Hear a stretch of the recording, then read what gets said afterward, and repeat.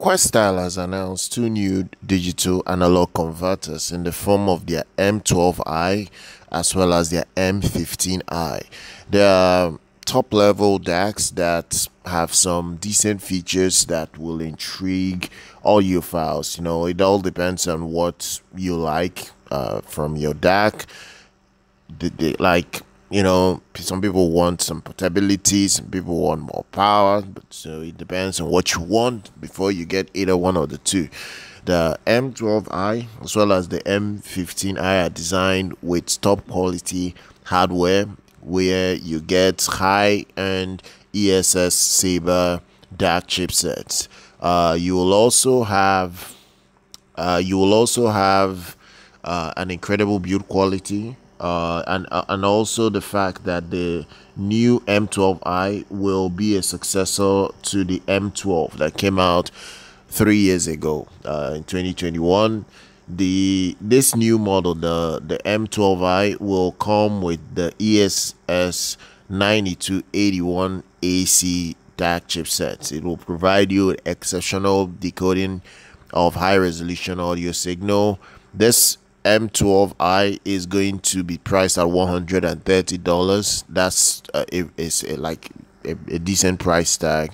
Uh, I don't think a lot of people will complain about that price tag.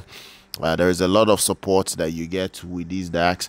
The Questyle M12i will bring noticeable improvements in the design section. Um, uh, one thing you get here is the fact that you, you you're getting CNC machine aluminum alloy frame as well as a transparent front glass panel. Uh, the, the other thing again is the is the is the power output. The power output on it is quite uh, is quite strong. You know, uh, you get uh, you, you get um, get the fact that you can run any in-ear monitor with this set as well. Uh, it features a 3.5 millimeter single-ended output and um, and uh, it has enough power. At least it has enough power to run most in-ear monitors out there. Uh, price tag is $130. Uh, but if you want something a little bit better, you can go for the bigger brother, the M15i. The M15i is going to replace the original M15. Uh, there will be some changes. You get very low distortion. It supports high resolution audio 32 bit, 768 kilohertz.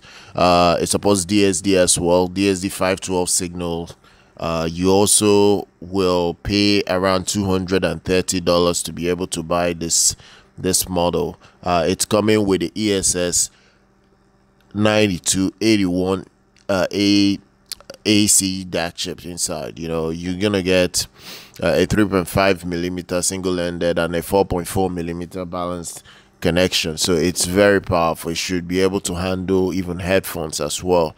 Uh, it still has the same CNC machine aluminum alloy chassis and and and, and a transparent glass cover from um, uh, front cover. So you, you get all that for $230 look i'm gonna drop details for you guys because i know people will ask the question where they can get it. It's already on sale as we speak.